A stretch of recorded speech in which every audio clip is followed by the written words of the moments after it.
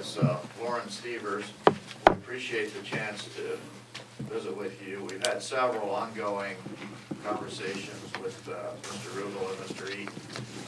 And uh, we're prepared to give you a a plan that I think is pretty close to what you'll want to do, assuming the project uh, proposed bond issue size is twenty-seven million dollars. Uh, We put out handouts in front of you. Uh, and Inside the booklet, the first item I'm going to discuss is the interest rate movement chart.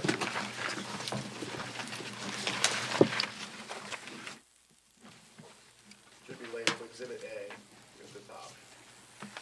So.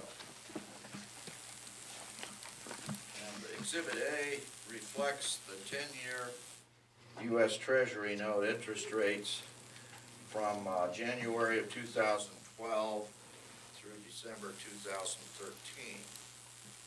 And it's, uh, the pattern is somewhat alarming. When you look at it, you notice there's a, a, a big increase since May of thirteen.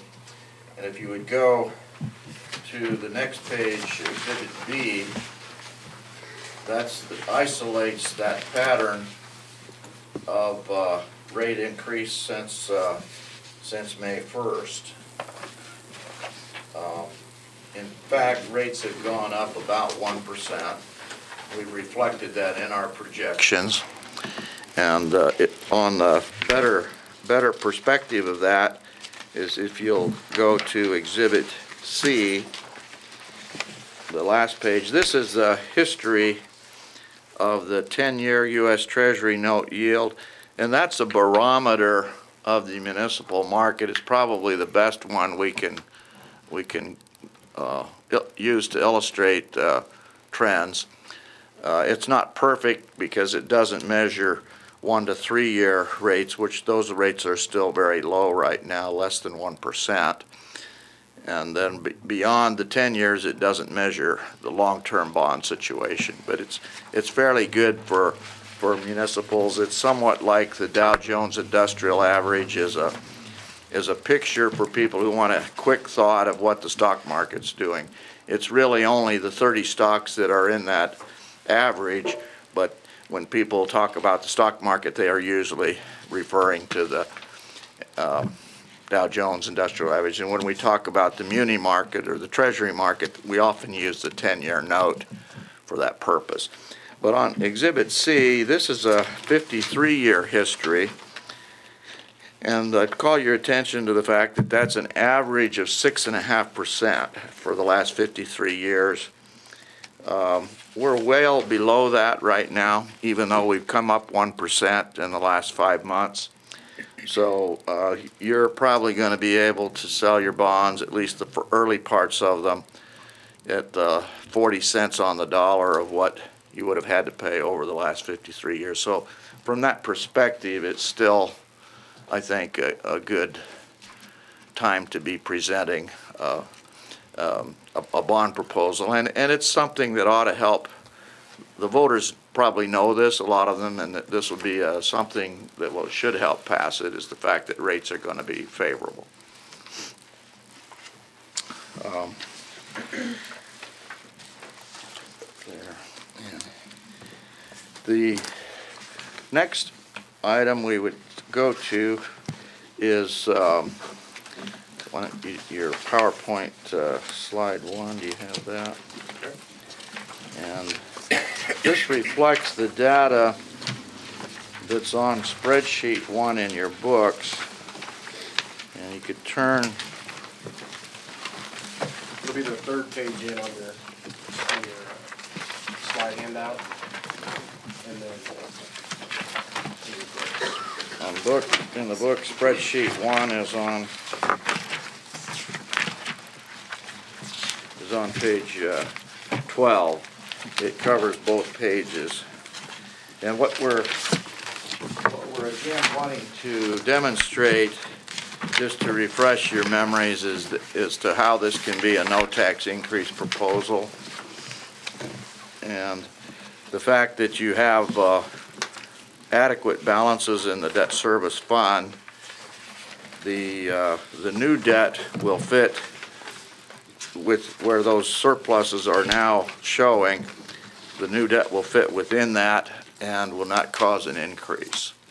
Now, let Lauren, Lauren, why don't you explain your uh, PowerPoint on the third, the third sheet there? Okay, the PowerPoint labeled spreadsheet one at the bottom again. The yellow bars are the debt service fund balances, so the reserve balances the district has, and the blue bars are the debt service fund payments. So if you go by year, you see 12, 13, payments are slightly above balances. Same situation, 13, 14, same situation, 14, 15, and then 15, 16, that flips. So this is the current situation, you see the yellow bars growing at an increasing rate. And we only project this out until 2017, 18. We continue that out and grow even larger, as you can imagine. And that lines up, again, with the blue column on page 12 of your book, the balances. You go all the way to the bottom, you see $26 million balances that cover on the total debt service payments on the green column, $590,000 payment. So your balances are far exceeding your payments. Now, as a practical matter, when the district completes its Form C debt service for the state auditor each year, uh, those for the They will state not permit auditor the each year balances to be, uh, those Uh, for the state auditor each year balances to be, we would have to pay bonds off early, which you would be able to do in the event this is not s- successful, this election. Uh, you'll be able to pay bonds off early in the future. To a point, though, then we'll, we'll be running out of debt, so that, that, uh, that's, uh, the, but the, the, the purpose of, of uh, showing the disparity between the balances and the payments is to illustrate where, why it doesn't have to be a tax increase, because those surpluses, once you add the new debt to it, they'll go away. They'll be used to make the principal and interest payment on the bonds that we're suggesting uh, for the ballot in, in April. You have any questions about that part of it? And let's, let's go to, uh, page uh, twelve in the book, Exhibit D. This presents the bonding capacity for the Farmington District for the April eighth of two thousand fourteen election. Page 13. Did I say twelve? Yes. I'm Got sorry, I've been doing that. Thirteen, thank you. Um, Your capacity is just under thirty-six million dollars. Your uh, project seems to be coming in at the twenty-seven million dollar level, so you will have almost nine million dollars of remaining capacity to go forward. And, and we could handle more than, uh, I think you remember from earlier presentations, we've, we've looked at 34 million could be, could have been how big it would be without raising the levy. So when we put this 27 million in, one of the things we'll do, and work more closely with the superintendent and Mr. Eaton, is that we'll have, uh, try to anticipate when the next need might be and structure these, uh, the new bonds so that they'll be uh, friendly to that opportunity um, when it, when it might come. And as you'll see when uh, Lauren goes through the PowerPoint, that, that that's going to be um, important. The next item, if you would turn to page 14.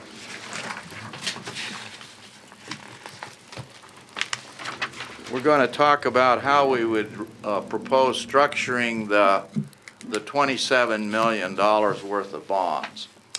And there's a, there's a factor you may recall from previous meetings, when we sell no more than 10 million per calendar year uh, as a tax exempt issue, then it can be bank qualified. That will lower the interest rates in Missouri about fifteen hundredths of a percent. And then it gives the banking community a chance to participate. The other thing it does is, um, you're familiar with how little you can earn now during construction or on short-term money because the rates, the short-term rates are so low. If we borrow the full 27 million all at once, it's going to be parked in the institutions and earning relatively nothing, and we'll be paying interest on the total 27 million from day one. So what we're suggesting as a strategy to avoid that and to save you money is that we would, at least at the beginning, perhaps consider three issues. 10 million in 14, 10 million in early 15, and then the other 7 million to be followed in 2016. Unless it appears that the project construction is going to need that money quicker, then we can revise that, uh, that plan as we move along. How much uh, interest does it save if we split it three ways, Lauren, compared to uh, uh, going all at once? If you notice in Exhibit 1, we have a handout there, we'll, we'll go over that more later. But the net benefit after you take into account cost of issuance is 1.6 million approximately in increased interest if you it as one $27 million issue as opposed to breaking it up in three bank qualified issues. The, the, the potential negative of our idea is if uh, interest rates uh, increase rapidly during that delay, we could end up paying higher rates on the future issues than what we would if we locked it all in at one time. Um, And the other thing is we have to uh, have enough funds available for the contract to work. So we, we think the 10 million sale in June will work well, and then another 10 million in January should be fine. The rates have to go pretty substantially though to offset the savings. That's, that's exactly right, sir. Yeah. So it, it would take a lot of increase in rates to wipe out the uh, 1.6 million that's, that we save by spreading it out. And it's not so much we're saving it as we're avoiding paying it because we don't, we don't have to start paying it till we sell the bonds. So that's, that's how it comes into play. And if, if you would look at uh, Schedule 6 on page 14, I'll call your attention to another matter. Um, This would be potentially the first set of bonds, and these are roughly a quarter of a percent or so above current market levels. Uh, We, um, so, and uh, this would be the 10 million. There are some items in your project that are, that have short average lives. The buses and uh, technology, some of the technology components. And if you look, the first eight years from out to 2021, we have $3,820,000 of bonds that would be paid off.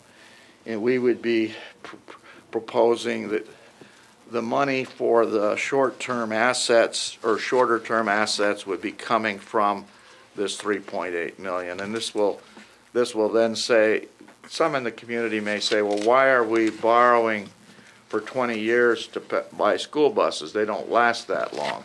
Well, we're not really, the bonds that are going for the buses would be paid off before the, while the buses are still in very usable condition uh, in most cases.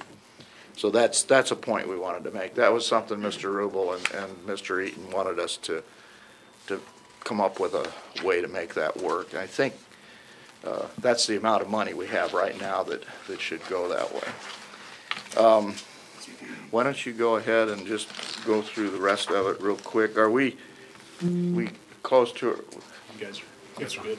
got- okay for time? All right. Okay?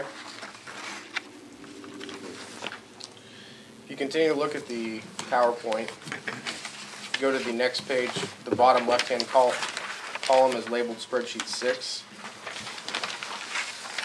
This is the same as the current situation with the yellow bars as the debt service fund balances and the blue bars as the payments. And as you see, again, going across year to year, the balances build. And this is including the two $10 million issues and the $7 million issue. So the $10 million issue is Schedule 6 that we had shown you just a moment ago. The $10 million issue is Schedule 7 in 2015, and then the $7 million issue is Schedule 8 in 2016. So utilizing those three issues, adding up to $27 million, the district will still be able to increase their fund balances with their current levy. So what this says is, uh, as we move into this project and think about the future needs, right now, we're fixed, we're in pretty good shape for 2017-18 fiscal year to consider another no tax increase proposal. And let's say if we, in our deliberations, you say we're not gonna need it that quickly, then we'll move some of this principal more forward than it is right now we're creating that window with this, with our theoretical structure that we have at the moment. Plus, we're getting the, the three point eight million of short-term bonds for, for those assets. Uh, one thing I would, uh, make a correction on is that we're assuming growth of zero percent for the next year, two percent for two years after that, and then it goes to four percent, and we have on these PowerPoint slides, it says four percent, but that's, it takes us three years before we're assuming the growth of four percent. And so if that, if that's overly optimistic, that means these yellow bars are gonna be smaller than what we're illustrating here, but they still should be well above what your payments are. And the, data that backs up this graph is on page eighteen and nineteen in your book. That's the spreadsheet of spreadsheet six. And again, if you look on page nineteen at the two far right-hand columns, you see the balances in the blue column gradually increasing. And the payments re- remain relatively the same, about three point one million until you get to the last four or five years. If you look at the next slide, Yes, sir. Yeah, That's something, fourteen, fifteen, are we gonna be short on our debt service fund? We're going to, we don't have as much money in the fund balances the payments are going to be, but we're, it's not a, it's, uh, um, the balance is, is it, is a fiscal year-end balance, and you have the tax money coming in in December, January to, to, uh, make the payments. We will have the, the new bonds set up so that there are no intercepts Okay, from your operating fund from September through December. And then once the tax money is there, the state will then intercept again. So I don't think there's gonna be any cash flow difficulties. okay, That's what you're asking, Right. and- and that's a good point. But uh, The existing debt of the district already defers the intercepts September through December for that same reason, and we would propose that as well on the new issues. okay. So in the PowerPoint presentation, if you flip to the slide labeled spreadsheet nine in the lower left-hand corner, this would be doing the twenty-seven million dollar issue all in two thousand fourteen as one issue. And as Larry said, with non-bank qualified, you're gonna get slightly higher rates. And also, we would be deferring some of those payments by issuing them in three chunks as opposed to one. So you see the non-bank qualified, one point six million dollars more interest expense than the three issues broken up. And even if the district did do the twenty-seven all, twenty-seven million all at one time, you can see the yellow bars are increasing above the payments, just not as rapidly. Is that million six of savings is, is yellow bar for you if we don't have to pay it. And if we, even if we don't save quite that much, it'll still be a positive thing. Um, The, those are the, that's the main part of our presentation regarding the, the ability to still handle the twenty-seven million without increasing the levy and, and I think we'll probably have a more optimal plan as you get your election passed and we enter in for the sale of the first group and then come back. We'll, there'll be a lot of interaction between us and the administration to fine tune this, the proposed structures. But right now, it's very promising. The fact that you're not using the full 34 million gives us a lot of flexibility on your behalf. Um, Let's look at the ballot.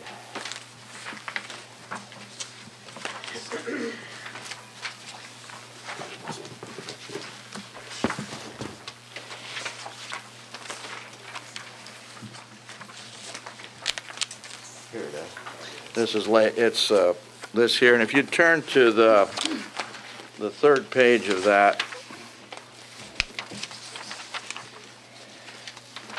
this is the draft language that uh, Mr. Rubel and I have gone over a couple of times. I don't know if the board has seen this before, but if this is, uh, if this is the way the language would read right now, this resolution is set up that if you, if you're all comfortable with it, it can be approved tonight. It doesn't have to be because we don't need to file until January 28th. So, but this is where we stand at the moment with uh, the project description and the order of it. uh, That's been worked out with Mr. Eaton, Mr. Rubel, and- and us.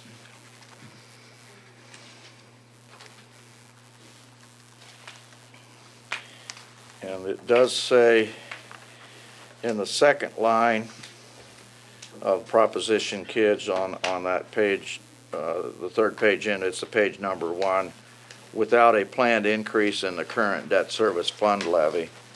And then at the very bottom, after the question mark, the third line from the bottom, then it says if this proposition is approved, the adjusted debt service levy of the district is expected to remain unchanged at the 90 cents per hundred dollars. So we have it in there two times to emphasize there's no, no increase in the levy associated with the proposal. You- The other, the other handout that we gave you is your election history, recent elections, and that's informational. Uh, Gives you an idea how many people will participate and uh, what the, what the, the history in the past has been. The uh, elections in '06 was the best. We had 68, that's in Exhibit B, we had 68 and a half percent in favor. And uh, with a 20% participation by registered voters. And back in April 2000, uh, that was for uh, 8,890,000. That one had 61% approval with around 24% participation. The no tax increase component, particularly if there's uh, a united board and the community has uh, felt like they've had an opportunity to give you input and the staff has, you have a, you have a, a good chance for uh, going successfully. I don't know if I mentioned earlier, but in 2013, 100% of our no tax increase proposals passed. In 2012, 92% did. So that, that in itself, if you've got a good uh, message and a good project, that's, the tax increase seems to be one of the main hurdles that's harder to get over. That's our, that's my Larry Hart show, I guess I'd say. Well done. Is that okay? Well done. I have one question. Yes, sir. On the language on the ballot, um, I noticed the, the addition of the classrooms are down near the, in the end of Mm-hmm. the language. Was that done purposely? Or, Uh, it- I mean, Yes, it was, it was somewhat done purposely because of the other things associated with the classrooms. We didn't want to, uh, but that's, that's a board decision on, on the order that where you put this. But that was the, the, wanted to emphasize the safety and security and the early childhood center and some of those things prior to that, that other part of the project, but your, your, your uh, observation is good because typically when we have a, uh, people who will say why I didn't vote for it, they say, well, I couldn't understand the ballot, I didn't like it, or it was too long, or it was this or that. usually, that's not necessarily the real reason why they're again, why they were against it, but it's easier to say that instead of saying, I didn't want to raise, pay, pay for it or whatever. But, but that, that's why we're giving it to you early, so you can, uh, get comfortable that that, the way we have the wording is the way you'd, you'd prefer it. And we have a lot of flexibility in terms of whether we want to go with very specific language or general language and where we put different items. Um, So then that actually is one of the things, if we're ever able to get back into school, which would be fantastic, that we're gonna, we're gonna actually talk to the administrative team about that bond language and, and some of their preferences as well. So, And Proposition Kids will not be the title of the, of the bond, won't be. no. You already told me that, didn't you? Yeah, that's okay. I'm sorry. Uh, No, that's all right. Any other questions for Mr. Hart? Thank you so much. Thank you very much. Thank you, Lauren. Okay, well, in that event, what we'll need to do is to adjourn this meeting so that we can say another pledge of allegiance and go to another meeting. So do, um, do I hear a motion to adjourn and a second? So moved. Second. Okay, all those in favor? Okay. We are adjourned from our work session meeting. I need a motion to approve the agenda and a second. So moved. Second. All those in favor? Okay.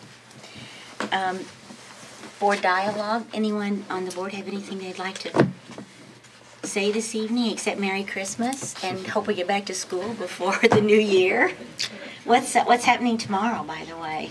No school No school tomorrow, unfortunately. Okay, well, perhaps Thursday. Thursday, we're, we are Keep our for hopes up Thursday. for that. Absolutely. Absolutely. Absolutely. Okay. Um, I think we have, we have some people from Roosevelt here this evening. Miss Johnson, I see you're back there. Would you like to come up to the microphone? Would it be all right if I brought some friends? Oh, I'd love, we'd love that. Absolutely.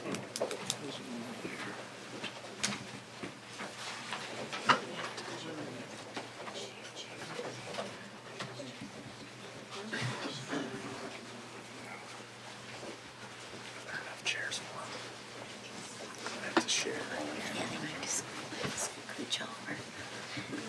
There we go. Good job. You might guys have to mic. You can you share a chair, JP? Thank you so much.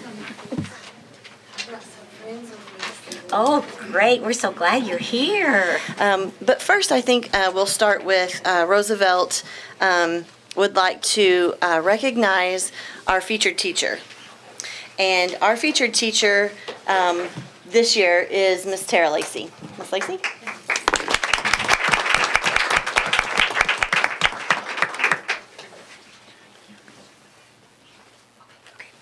Um, Mrs. Lacey um, is a third grade teacher at Roosevelt. She's an exceptional teacher. Um, she has been teaching for the last 12 years, um, the last 10 years at Roosevelt. Mrs. Lacey finds it very easy to get to know each and one, each and every one of her students individually and cares very much for her students. She's a great teacher with unlimited strategies. She is a great leader and one who is always willing to share and help others. Mrs. Lacey serves on many committees, um, including the Roosevelt Advisory Committee, the PBS Committee. She serves on ELA Curriculum Committee, and she's working with the Consolidated Schools Project this year. So we're very proud to have Mrs. Lacey as one of our third grade teachers at Roosevelt. You're welcome.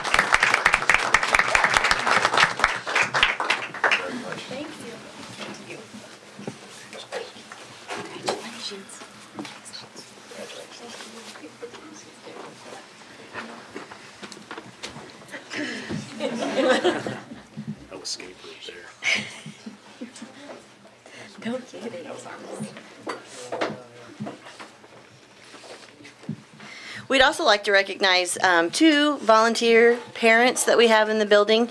Um, we decided that we needed two Heartland Heroes this year, not just one. Um, so at this time, I would like to recognize Mr. Anthony Wallace and Mr. Sean Merritt.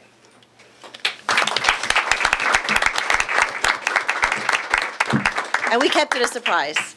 So they have no idea why they're here, other than they're supporting the student council.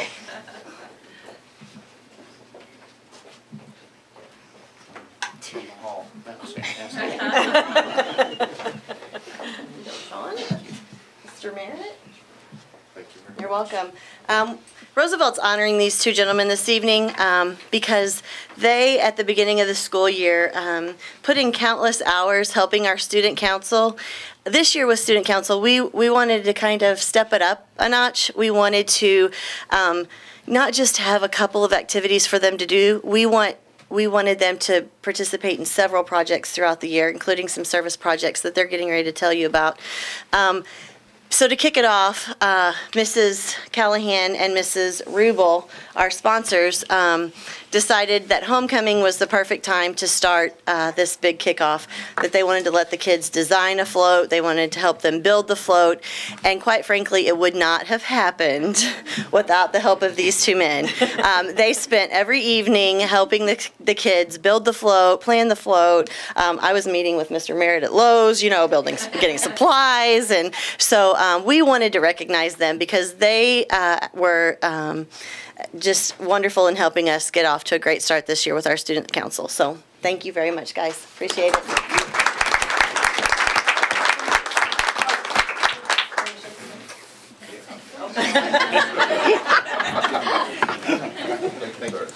Thank you. Thank you. Thank you. Thank you. Thank you. Thanks.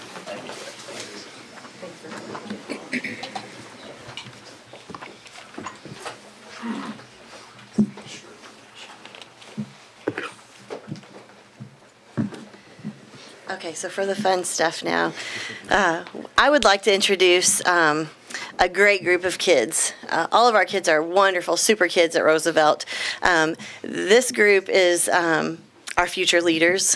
They're, uh, they're our 2013 2014 Student Council. Uh, but before I introduce the Student Council, I'd like to introduce uh, Mrs. Lacey, or excuse me, Mrs. Uh, Misty Rubel and Mrs. Lisa Callahan. So if they'd like to come up and help with the. um, We'll get them on camera. they're sponsors this year for our student council, and they they've been wonderful. I knew that they would do a great job, and they are. They're running with it and doing a wonderful job. And the kids are going to tell you just a few activities that um, they're currently um, working on, some things that we've been working on um, at the beginning of the school year. So, just to introduce them, I'd like to start with Morgan. This is Morgan Miller, and then Trista Hampton, and then McKenna Wallace, and then we have McKenna Davis. And we have Jacob Merritt. We have Mr. J.P. Rubel. And we have Abby Robbins. All right. So um, the kids would just like to tell you a few things that's uh, going on at Roosevelt. So go ahead, guys.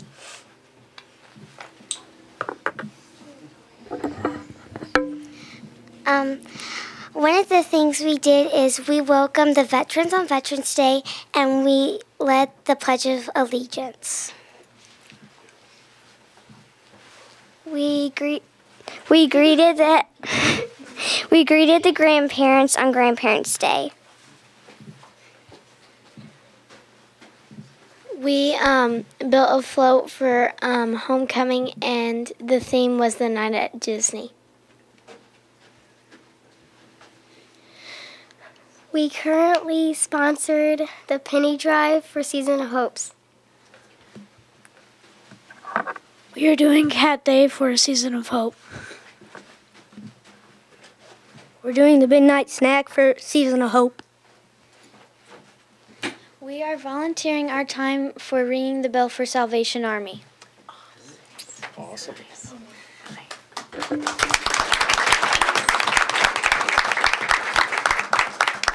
Morgan would like to tell, tell you just a little activity that we have going on right now.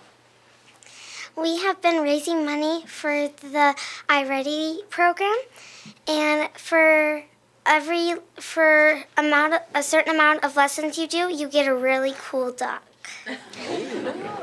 Logan, can, or Morgan, can you tell the um, board members who picked the reward ducks out for the kids? Student council did. All right. I, I just wanted to say thank you for letting them come and speak. It's been a, a privilege to let them do this. They're very excited. And just um, as confidently as they spoke this evening, um, Mrs.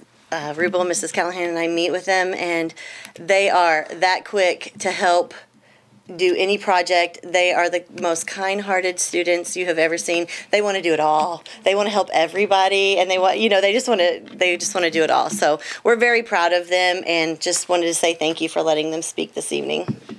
All right. Thank you. I think we'd like to shake their hands. if they would- Absolutely. Okay with that. 'Cause we JP has one more thing. too. Oh, okay. Yeah, oh, JP has one more thing. The gifts and the cards were made by Mrs. McDonald, our guidance teacher, and I just hope you guys all like them, and so you can look at them now or whenever you would like. Thank you very much. Thank All you right. so much. Abby, you want to leave? You can shake their hand. Thank you very much. Good job, Thank you. Thanks for doing such a good job. Thanks for coming this evening. We're so proud of you. It's such a nice thing to be good to people. Thank you so much.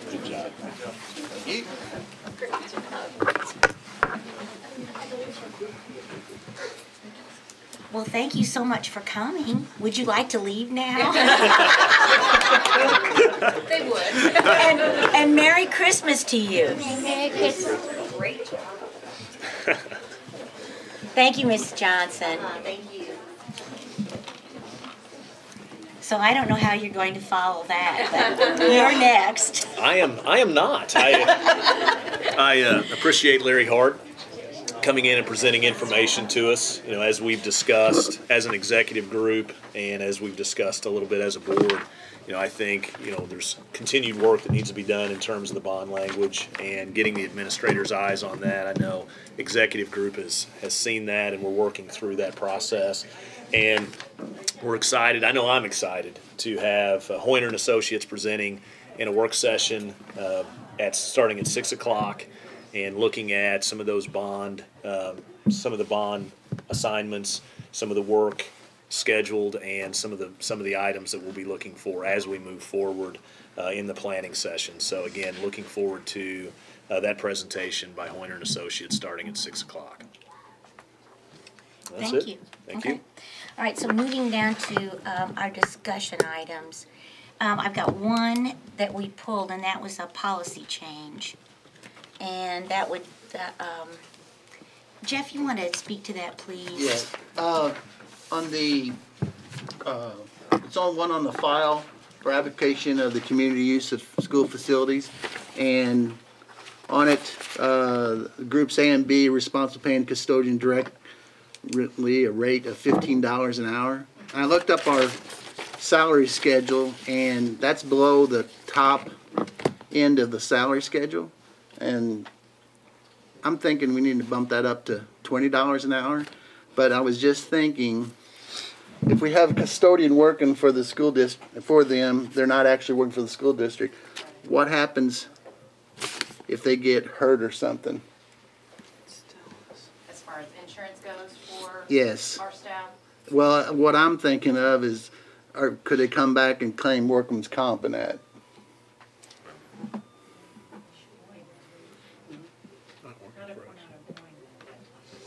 Okay, and the other organization is supposed to have insurance They have that- to have.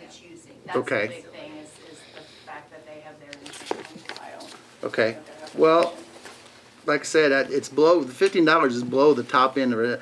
I'd like to make a motion that we make that to twenty dollars an hour to cover for the people that is at the top, that they would be at least making at least as, as more than, uh, than at fifteen.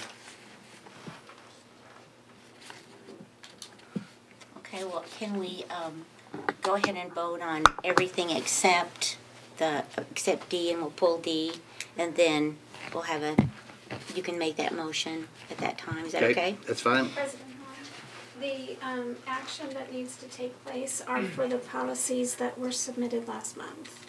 These two policies. Yeah. um, Yeah, these that are under- Okay, so These are these are under- under review, so review. you'll actually do that. We'll that? be good.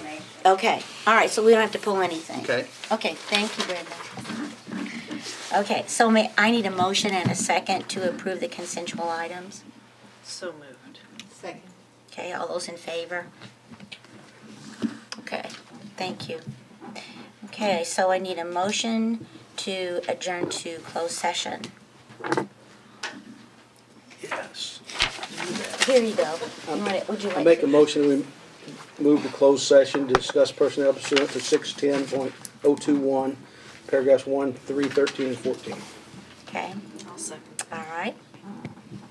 Davis, Yes. Han, Yes. Kane, Yes. Howard, Yes. Lawson. Yes. Noble, Yes. Sullivan. Yes. Okay.